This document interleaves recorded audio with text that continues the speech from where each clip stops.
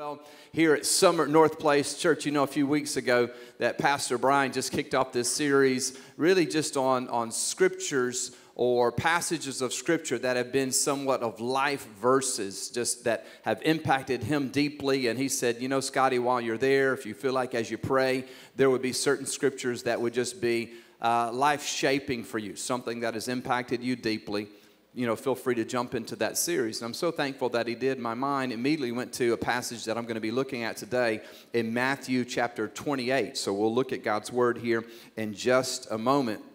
If you're taking notes, uh, you can just write down at the top of your paper there, you had one job. You had one. Anybody ever heard that phrase before? You had one job. Come on, wave at me if you ever heard. Uh, usually, if somebody says it and they're saying that to you, it, it's usually not a compliment, right? if somebody listens, you go, "You had one job." You know, they're usually not trying to make your day happier, you know, or better. They're letting you know you missed the mark. You messed up. Uh, I, I remember when I was in junior high school, lived across the street from some friends of ours. They had kids the same age as, as myself and my brother, and and so we, we were buddies, and they were going to go on vacation and and, and they said, Scotty, would you come and, and watch our dog for us while we're away? I said, sure, glad to do it. They had this beautiful, beautiful collie. Anybody ever seen Lassie before? You know what I'm talking about when I say Lassie? This dog looked just like Lassie. Matter of fact, Lassie was not the dog's name, but I'm gonna call it Lassie anyway. It looked just like Lassie. He said, Can you watch the dog? I said, I can do that for you. And so they loved that dog like crazy. I mean, it, it was just, it was, they loved that dog. And so one day I was over there, and, and, and the, I, should, I should say, the dog, Lassie, had gotten out from the backyard. I was like, Oh, dear Jesus. You know, I went over there and I was trying to get the dog corralled and get back in, and it wasn't cooperating. It was showing me that Lassie was in complete control and that I had no authority. That's what that dog was. And so I'm, I'm chasing. Come here. Come here. No, no, no, don't run from me. Don't run from me. You ever been in a moment or situation where you're doing something, all of a sudden it kicks into slow motion? Because I was chasing Lassie, and Lassie was running towards the street. I saw Lassie. I saw the street. I saw a car coming. I saw Lassie. I saw the car. I saw Lassie. I saw the car. No! Yes. Kind of a bummer way to start a sermon, isn't it? I mean, it's just such a letdown. Let's just let's just end that part to say Lassie's in a better place now. Okay, let's just leave it at that. We're not going. That's that's. We're just going to move right along. I left and I was like, oh no, I just I can't believe it. Well, a few days later, the family got home and I could hear them across the street calling for Lassie. I could hear them, hey girl, where? I was like, oh, oh. You, you ever had a moment you just wish the rapture would happen like right now, like right now? Just like, come on, G, blow that, blow that trumpet right now. I mean, I just, oh man, I needed the rapture. But I, uh, I went ahead and I took the walk of shame, just walking across the street to them. The mom was there in the front yard, and she came Hey, Scotty, hey. And you could hear the kids in the backyard calling for the dog. And the, the mom, she, she handed out a little gift, got me a little gift, you know, a little souvenir, a little thank you. It was a little, little keychain with my name on it. It was a little keychain. And, she handed it to me. I didn't know what I was supposed to do. Like, do you take it? Like, if you, if you failed, you know, if you failed your job, do you, do you no, no, I can't, you know, really. I, I didn't know, so I'm kind of like, what do I do? About that time, the kid ran around and said, hey, where, where, where's the doll? We're looking for it. We can't find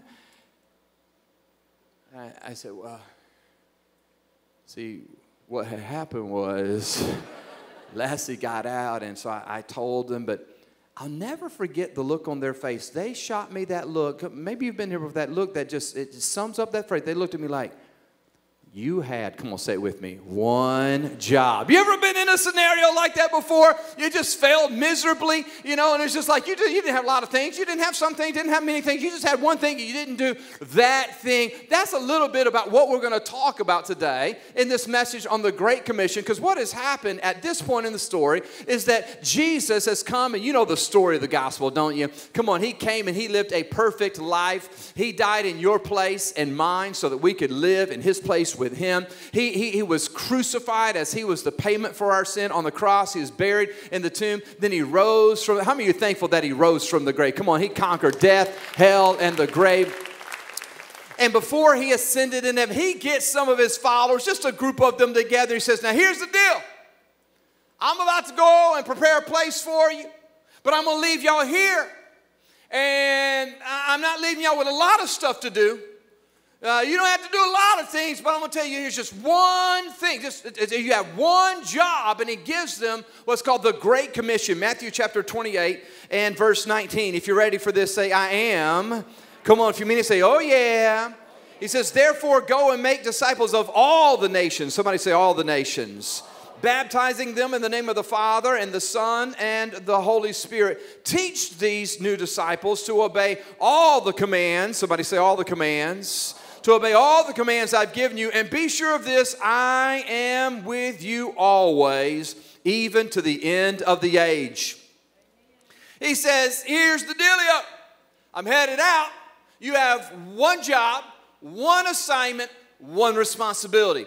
I want you to spend the rest of your days here on this earth telling as many people as you can, while you still can, about the hope that you have found in your relationship with me. Go and tell them the story of how I died in your place. Go and make disciples, followers of Jesus. Go and take what I've done in you and share that with the world around you. They had one job. Today, I want to encourage you that that same one job for them is still the same one job for you and for me. And if we're going to carry out the Great Commission, today I want to give you three things that I think will help you to do it and to carry out the one thing that He's left us here to do. Anybody excited about going to heaven? Come on, who's excited with me? You excited?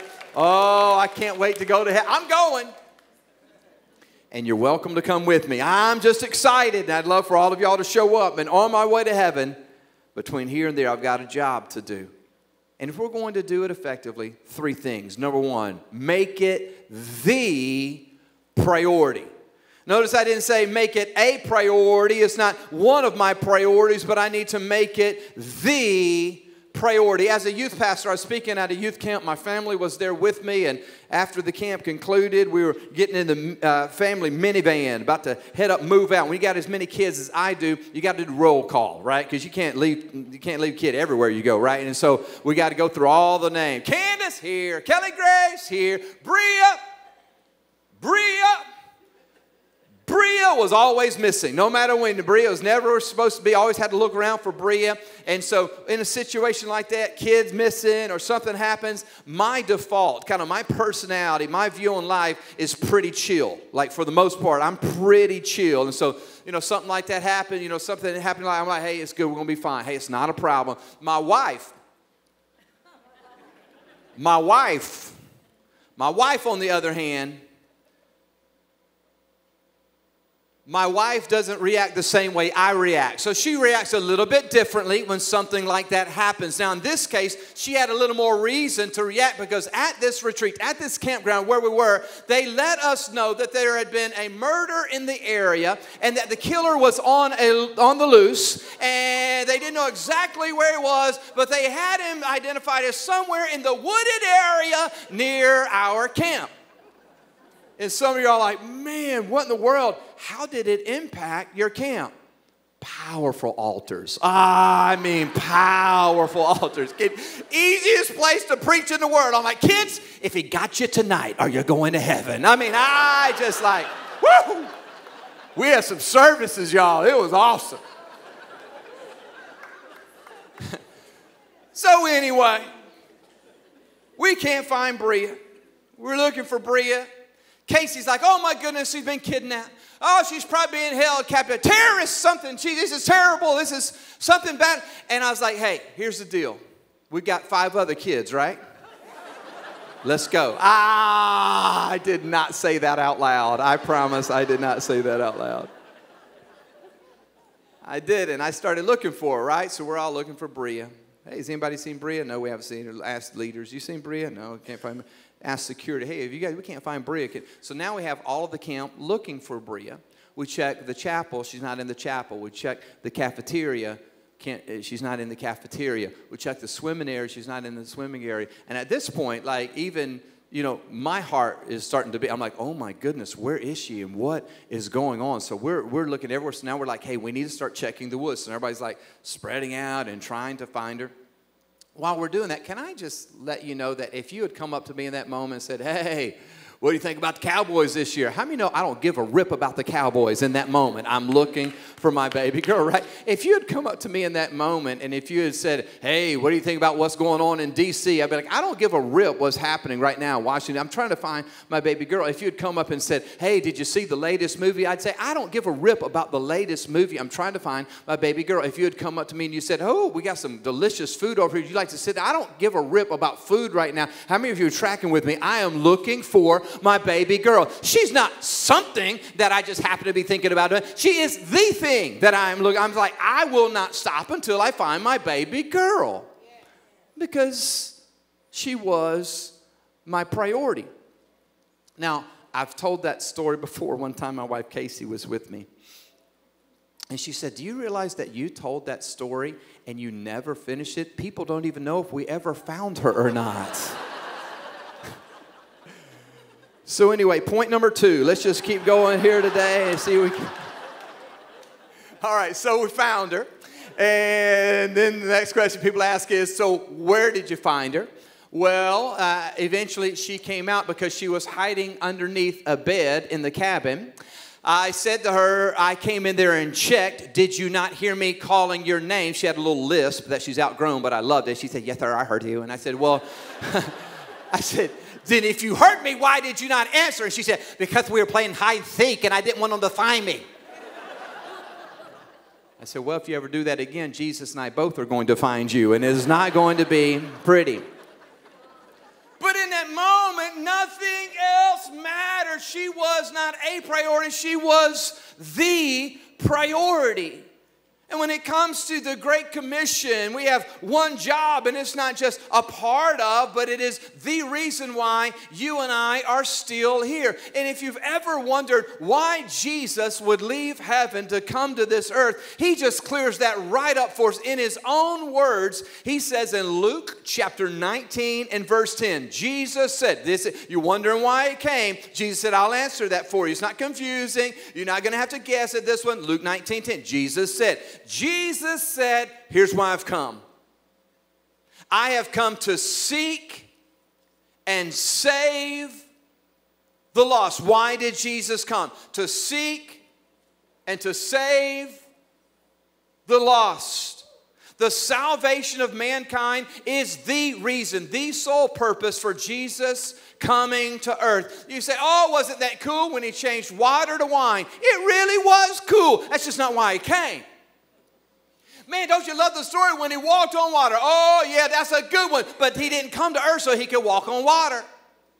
When he healed the blind man, when he healed the lepers, when he fed the 5,000, all of those are amazing stories. Just none of them are the reason for why he came. The purpose of why Jesus came to this earth was to seek and to save the lost. He only came to reach the lost, and the only reason you and I are still here is so that you and I can reach the lost. You ever thought just lately, maybe you've been processing or evaluating and maybe kind of looking within and asking the question of why your heart is still beating? Have you paused and just pondered a little bit lately, uh, lately and just you've wondered, like, why would I get out of bed again today? Most people, if you say, hey, why'd you get up today? Or tell me about your day and what are you going to do today? Most of us would answer things with answers like, because I'm going to work, I'm going to school, I'm getting up because I have to get some stuff done around the house. Uh, I have to mow the yard today, but can I just give you just this friendly reminder that if you are a follower of Jesus, there's so much more at stake in your day and why you still exist and why you're still here? And can I remind you that this is not just a priority, but why this needs to be the priority is because there's a real heaven to be enjoyed and a real hell to be avoided, and time is short and eternity is long. I'm on my way to heaven, but the reason I'm still here is because He wants me to reach one more person while there is still time. That's the only reason we are still here. Life is so short. Eternity is so long. James says that life on this earth is like a vapor of smoke. It's here and then it's gone. like life on this earth is just so short. Some of y'all like, no, I'm exercising, taking my essential oils, eating my Wheaties, Flintstone vitamins. I'm gonna give you a little longer. Okay, that one's for you right there. You're going to live a little bit longer. But it doesn't mean you live to be 90, 95, 100, 110. How many of you know at some point it's over? Life on this earth is short. Eternity is so long. Why don't we make the most of this knowing that we're living for there? Why can't, why do we allow ourselves to get distracted with stuff, changing water to wine? That was cool. Healing the blind man, important. I don't mean that other stuff that we're doing, it has no importance. I'm just saying it's not the purpose. Raise my kids, have a healthy marriage, earn a good living, exercise, whatever it would be, good things. It's just not the reason why you're still here we have, somebody say it with me, one job. We got to make it the priority. Let me give you the second thing not only make it the priority, but make it practical. Make it practical. Practical. When we talk about the, the, the job of carrying out the Great Commission, we can do uh, tend to do a lot of talking about something that sounds very spiritual, very churchy, very religious, kind of some Christianese, and, and we say things like we got to spread the gospel. Uh, uh, we have to evangelize the unsaved. Uh, we have to change the world. We have to reach the lost, and, and we know what we mean in church circles by all of that. But at some point, it's got to move its way out of just the Christianese and put some street shoes on and get out and actually do something. So it's not just talking about the Great Commission, but about living it and carrying it out. How do we make it practical? I think one of the most powerful yet practical things that we can do if you want to see friends or family members come to know the Lord, the first thing is that you would pray for them. You say, well, Scotty, that sounds like such a Sunday school answer. That just sounds like such a, a church response. Well, I get it, but I'm just telling you, it's not our stopping point, but it must be our starting point. I love the way E.M. Bounds writes about prayer, and he says this to talk to man about God is a good thing, but to talk to God about man is greater still. See, in my desire, my effort to reach my family members or my friends who are away from Christ, it starts with me talking not to them about God, but first me talking to God about them. Why? Because this is a very spiritual thing. You will never argue anybody into heaven. You, will never hear a story and testimony of somebody's life change. Hey, how did Jesus? T- uh, well, we were fighting one day. I was fighting with somebody. They were a Christian and they outfought me. Like it, they just, man, they fought. We were mad. We were angry. We were hollering, cussing. But you know, at the end, I was like, well, you're right. I guess you're right. Like, you'll never hear that. Why? Because this is not a head issue. It's a heart issue. It's a spiritual issue. And because it's a spiritual issue, the battle must be waged in the spirit realm. The battle is won in prayer. Not only should we pray, but here's a second practical piece. This one's going to blow you away. This one is profound. If you're taking notes, write this one down. If you want to reach people, if you want to carry out your one job, here's a very uh, practical thing you do. Ready? Number two, here it is be nice. Just be nice. Anybody know any grumpy Christians? Don't point at them if they're in the room, but do you know anybody? They just seem like miserable, just mad. Mad, mean, angry, grumpy, mad. Don't like this, don't like that, vocal about it. Opinionated, outspoken, opinionated, negative, mad. Oh man, I don't like this, I don't like that. I don't like you, I don't like them, I don't like anybody. But you want to go to church with me? Like, man, I'm good. I'm really good. whatever you good, whatever you got me, as fun as it looks, I think I'm good. Listen to what scripture says in Colossians chapter 4 and verse 5. It says, Be wise in the way you act toward outsiders. Make the most of every opportunity. Somebody say, every opportunity. Let your conversation be always full of grace, seasoned with salt, so that you may know how to answer everyone. It's saying just be smart is saying it's hard to fight somebody and reach them at the same time. If you're going to make the most of every opportunity, pay attention to your conversations. Let them be a, uh, uh, uh, a, a, an attractive presentation of Jesus. Let them be appealing, seasoned with salt. Let it just be easy to swallow. Be about building bridges, not walls. Our goal is to win a soul, not win an argument. But sometimes that's hard for us to do because we work at places or, or we go to school places, and there are people who, who they aren't followers of Christ, and, and man, they just just foul mouth, like maybe at your work, just somebody with a foul mouth, or just telling crude jokes, just inappropriate, and it just gets under your skin. It, it's frustrating to you, maybe even somewhere, and they're they're taking the Lord's name in vain, and it's just, just oh, your blood pressure just boiling. And it, I just want to give you a, a quick little insight right here. Here's this. Listen, listen. Lost people tend to act an awful lot like lost people. So next time I'm all fired up and offended, bothered, mad. Oh, man. Did you hear that guy drives me? She's, she's a gossip. He's a liar. Like that guy, man, he's a manipulator. And yet you're all mad. Why are you mad? Because lost people act like lost people. Listen, that's not the problem. The problem is Christian people acting like lost people. The problem is those who say, I can't wait to go to heaven, and you ain't going. I mean, that's messed up. Like, that's what's wrong. Like, what instead of being offended and being mad and being angry, what instead, if you say, you know what, I want to show the love of Jesus. I just want to be kind. I want to be encouraging. Like, I, it's their birthday. I'm going to be nice to them on their birthday. I'm going to highlight, I'm going to celebrate them. I'm going to, I'm going to say things that build them up. Question for you What if all your friends and knew, all your friends and family knew about Jesus? Was what they know by looking at your life, what would, what would their picture of Jesus be? What would it look like?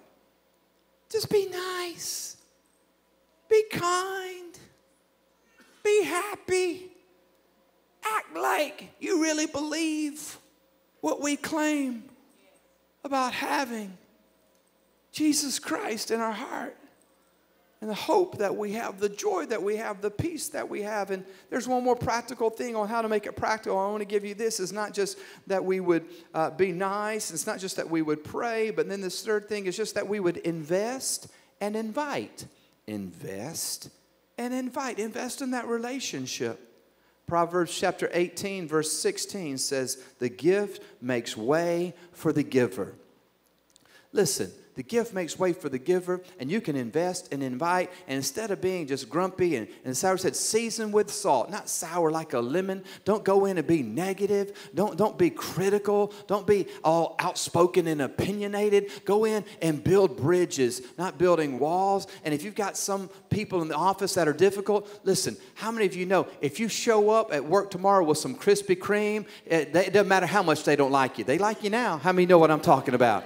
You go walking in with some coffee. You're going just start blessing people. Just start being kind. And, and some of you like, eh, Krispy Kreme, coffee, you know how much it costs these days? Like, listen, I do. I do. I get it. And that's a struggle for me. Uh, one of the things that we do as a family when we're staying in, in hotels is that we pray, God, use us. We're going to leave a tip for the housekeeper, and we're going to leave a, a spirit led note. Lord, what do you want us to say? And we pray that God would give us specific things to share so that they will receive a gift, but through, through that gift, a specific word from the Lord. And so it's just a practice because the gift makes way for the giver. We think, man, that's an easy way to, to, to share the Lord. And listen, next time you're out somewhere, if you feel led to leave a note, but you're not leaving a tip, the devil is a liar. You better put some money down by that tip. Don't you be doing that. The gift makes way for the giver. You be kind, you be generous. So the other day we're at a hotel and and I said to my wife Casey, I said, Hey, why don't you just pray and see what the Lord places on your heart and write it out here and got my wallet, I'm gonna leave some cash and you know, I, I pulled out my wallet, and you, you know you've been here before, so don't, don't judge me and act all spiritual. All I had was a 20. Man, it was a crisis of faith.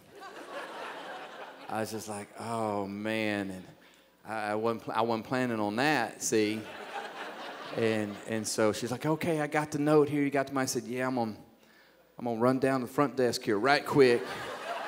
So y'all judging me. I'm just being honest. I just I wish I was more spiritual than that. But I went down there. I said, hey, I'm gonna need some change, and and and the lady said, uh, I'm sorry, we don't have any change. I said, you don't have you don't have any change. You don't have any.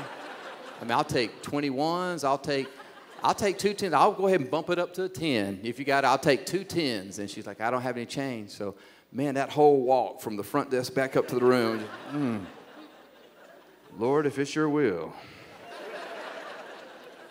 Lord, and so I got there and I said, all I have is the 20, and I handed it to her. I said, hey, I think the housekeeper is right outside, instead of the note, even if you want to talk to her, just here's the 20. And so, so she goes and she blesses the housekeeper and starts talking to her. About 10 minutes or so later, she came back and she, she said, that, that was an incredible conversation. You wouldn't believe it. She said, We were talking and, and I was telling about Jesus. I laid out the whole gospel story. We exchanged information. It was powerful. And in that moment, I was so excited but so humble, just embarrassed, just ashamed because I was literally wrestling with, man, that's, that's, that's my 20.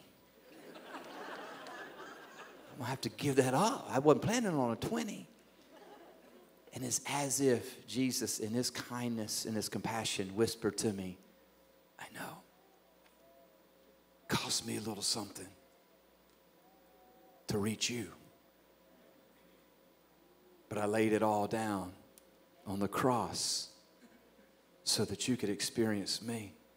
Now all of a sudden I was looking at my 20, just feeling like, golly, what a spiritual loser. I just can't even. And I'm just saying to my friends today, and I'm sharing that because I want you to know hey, Don, I'm not trying to act like I'm Moses, but I have to put this into practice.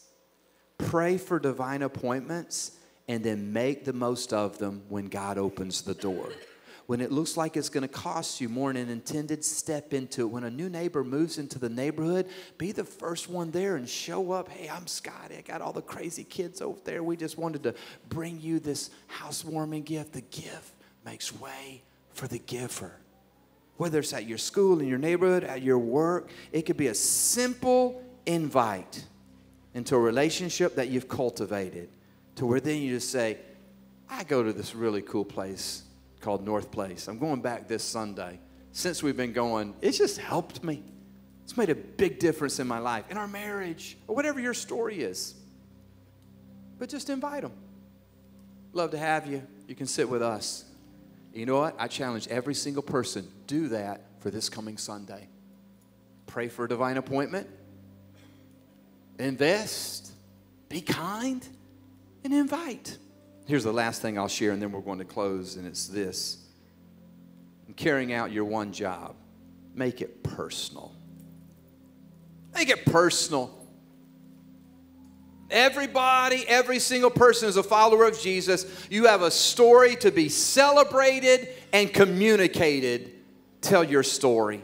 I try to watch for opportunities when I'm out places, and and uh, you know, for for my wife Casey, like she's just a natural. So I'm just I'm being real with you because I don't want anybody in here thinking, well, that's because you're a preacher. You know, that's why you do it because you're a preacher. And so when you're at Bass Pro or you're at Lowe's, like you just telling everybody about Jesus. Listen, my wife can, can go in at, for a loaf of bread and she'll come out about an hour later going, I, I led 15 people to the Lord. I'm like, of course you did. Of course you did for me, whenever I go to do it, man, my heart starts racing. I'm more comfortable up here in front of thousands of people than I am on aisle number four, you know, l- looking at the milk or whatever and, and going, okay, Lord, him, okay, right now, okay, so you want me to do it? You want me to go first? Okay, Lord, is it right on three? Lord, okay, here we go. Like, I just get nervous. And so, you know, there's a guy there, and I'm like, hey, I know what I'm all about. I didn't come here for milk. Lord, you sent me here on a mission. He might need Jesus. So I just try to strike up a conversation, you know, and that's my wife, easy. For me, it's unnatural. So I'm like, you like milk too? I mean, whatever, I don't know. I'm just like, crazy prices. Oh, man, always go the crazy prices. Everybody, amen, you on that. You know, everybody's like, so we're talking for a second and and so I'm like, oh, you're from the area? Oh, yeah, me too. Hey, do you have a church that you go to here in the area, somewhere that you go to church? And and I could tell by his answer, he's like, uh, uh, yeah, oh, yeah, yeah. I, you ever been talking to somebody about Jesus and you just knew they're lying? You know, you just do. Like, I'm like, man, you ain't got a church. I can tell you love a church. And so just uh, I was being a little bit honorary and I didn't let him off the hook. So I said, oh, that's cool. Well, uh, what's your pastor's name? it was a setup. I admit it. It was a setup. It was a setup. And uh, he looked at me, he's like, I, I don't know. And so I was like, okay, well, he's, he's not wanting to talk, so I'm just going to I'm gonna wrap it. I'm going to wrap it up here. But so I'm just going to give it to him the best I can. Casey would have been great. This is just me. I'm just going to give it to him. And so I said, well, man, that's really cool that you have a church. And, and more than anything, I just think that's awesome that you know that there's a God who loves you, the God who cares about you, and the fact that you're going to heaven forever. Isn't that pretty cool that that's your story? And he, he looked at me and he's like, that's personal. That's my business. And turned his back, you know, turned his back and said, That's personal. And I thought, That is so weird. Not that this guy doesn't want to talk to me, because at this point I figured it out. I get it. The weird part is just to use that line and the sad reality that a lot of Christians live their lives as if that is true. I have found peace.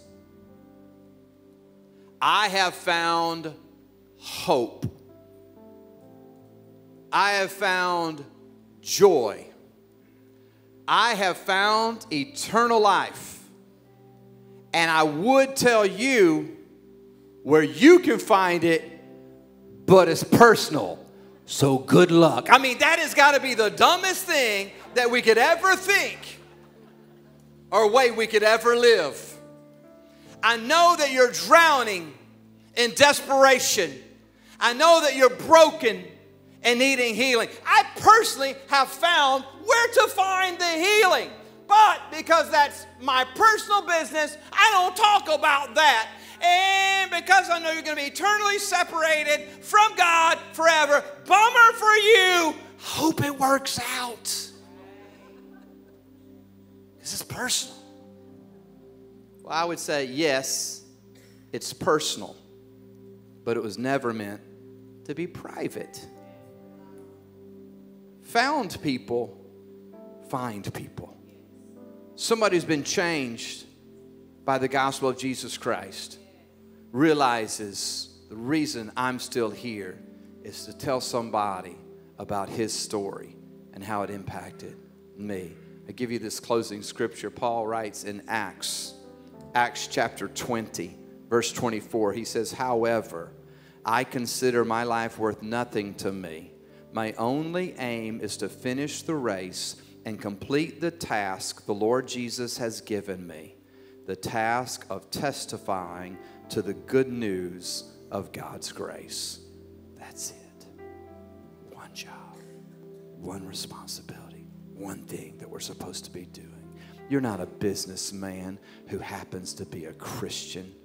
You're a follower of God that He sent as a missionary to that corporate office. You're not a guy who sells insurance or a lady who's a school, school teacher. You're not a football coach who happens to be a Christian. You are a follower of Jesus on your way to heaven. And the only reason you're still here is not to go work at the construction site, not just to earn a paycheck. The only reason you're still here is to tell people about Jesus. So, when was the last time you prayed earnestly for that friend, for that coworker, for that family member who doesn't know Jesus? Are you praying, "Oh God, not just a little prayer, save them, Lord, bless the world, amen." No, "Oh God, they need you." Would you send the conviction of your Holy Spirit to work on their hearts so that they see and recognize how desperate they are for you? Lord, would you give me a divine appointment then and anoint me to step into it to know what to say? Lord, I'll mess this up unless you empower me. Lord, help me to be the kind of friend that they would trust and listen to. So as I invest, then I can invite, Lord, I'm praying for making it practical, just being kind, make it personal, going, I've got a story that is to be celebrated and communicated. Lord, this is the reason I'm still here. I consider my life worth nothing to me except for carrying out the Great Commission, sharing the news of the gospel of Jesus Christ. To that end, let's commit ourselves. Let's not miss it. Let's be all about it. One day soon, we're going to be there, and you'll be glad you made the most of this because you did your one job.